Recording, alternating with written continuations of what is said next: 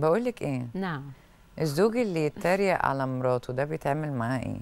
اللي هو كويس في كل حاجة بس بيستظرف. أنا قلت وبيعمل عليها قعدات قلتها لك قدام في الناس. الحلقة اللي فاتت. أنا فاكرة. وقلتها في الحلقات دي تاني. بس عايزين نسمع. الراجل مم.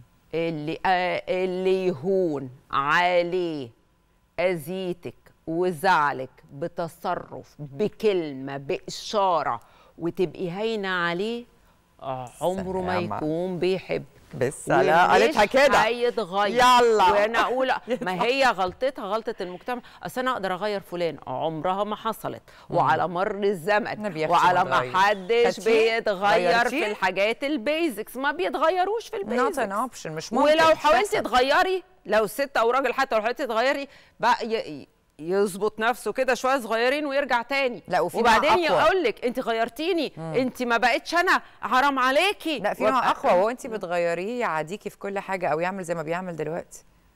يكرهني في العيشة عشان حاولت أغير في حاجة مش عجباني وبنغيرها لمصلحتنا مش لمصلحتي. ال- ال- الغلط بتاع الست دائما ابدا إن هي من أول خالص.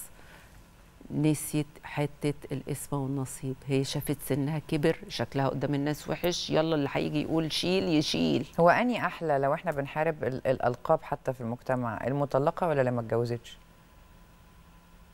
دي بني آدمة؟ ودي بني آدمة ولا حد واخد ألقاب وده رزق ربنا. لا وده رزق ربنا؟ وده رزق ربنا ولما آه. أعترض على ده أو أعترض على ده بعترض على اللي ربنا اداهولي سؤال كريتيكال. جدا الناس اللي بتبقى بتاع يعني هو طبعا الخلفه بإيد ربنا بس الناس اللي بتبقى داخلة على الجواز واحيانا زي ما إحنا بنقول آه، بتبقى في أيام معروفة فبيعملوا دايما الفرح قبل الأيام دي عشان تخلف على طول. خش يا بنت هاتي عيل واتنين حتى لو اتطلقتي هاتي عيل يبقى معاكي عيل. اوعي تتطلقي كده اطلعي اطلعي متجوزه آه، كده. تربطيه بالعيال يعني مش اديني عارف بقى إيه. حاجة جميلة و- ونصايح و- وعلم النفس بيقول إيه؟ في الحالات دي أرجوكوا. مش عايزة حاجة لا. تانية.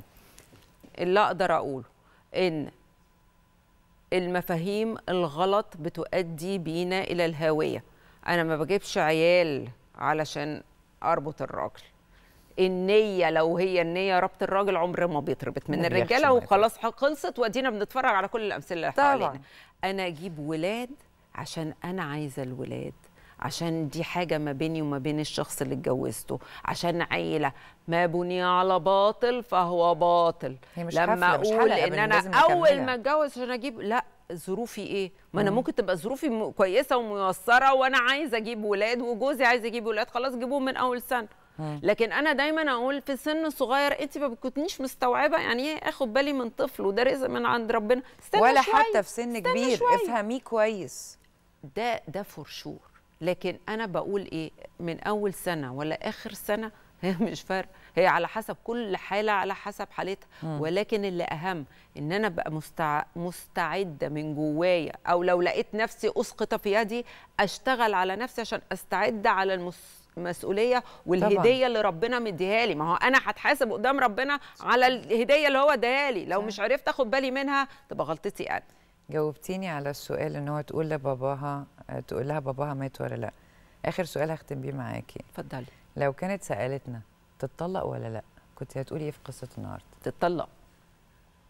تتطلق والله؟ تنجب والنبي نفسها مرة واحدة كده على طول؟ آه طب مش لا لا حاله؟ تنجو بن... ما... ما إحنا قلنا في حاجات ما بتتصلحش ثانك يو تنجو بنفسها وتنجو ببنتها ويا رب يقدرها على إنها تطلع بنت سوية جميلة تفرح بيها وتاخد بالها منها وتعوضها اللي هي شافته نورتيني يا ريهام